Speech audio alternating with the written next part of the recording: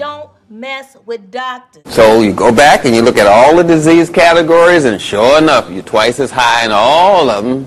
Because you're trying to be healthy by another race's melanin value.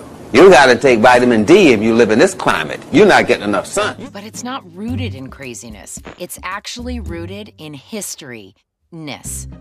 And a lot of black people have a skepticism of the medical field due to a long history of abuse and neglect. During slavery, doctors claimed that if a slave wanted to run away, it was because they had a mental illness and not because of, you know, wanting freedom.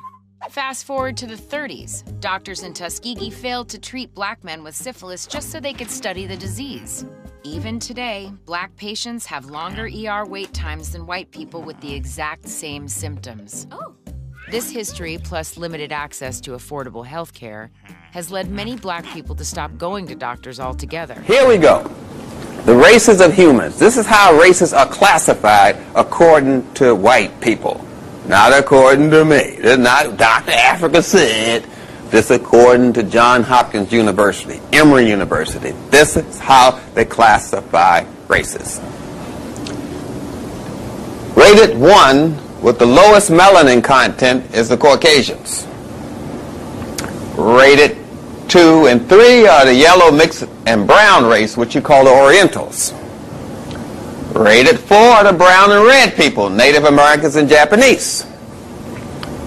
Rated 5 are the black, brown, and brown people, which we call the native Indians from Mexican. The Mexicans, Himalayas, you know that race I'm talking about? Rated 6 with the highest melanin content is black folks. The melanin causes you to have more vitamins and minerals in your body than any race. That can present a problem a big problem, especially if all the lab values are set on the Europeans, on Caucasians, who have the least amount of vitamins and minerals in their body than any race. Their blood uh, 25 hydroxy concentrations have been measured. And here for the Masai and for the Hadza, we have values of 110 to about 100 and some odd uh, nanomoles per liter. And if I average the two of those, because they're not statistically significantly different, that's the ancestral value. Now, there, by comparison, is the Institute of Medicine value, and there is the Endocrine Society value. So you can see graphically the difference.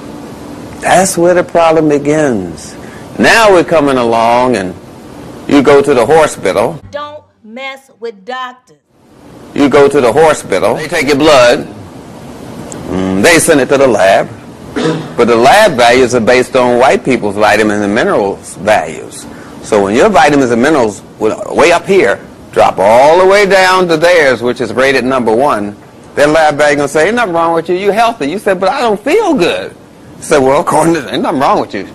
It's in your mind, something, but your lab values say you're fine. No, no, no.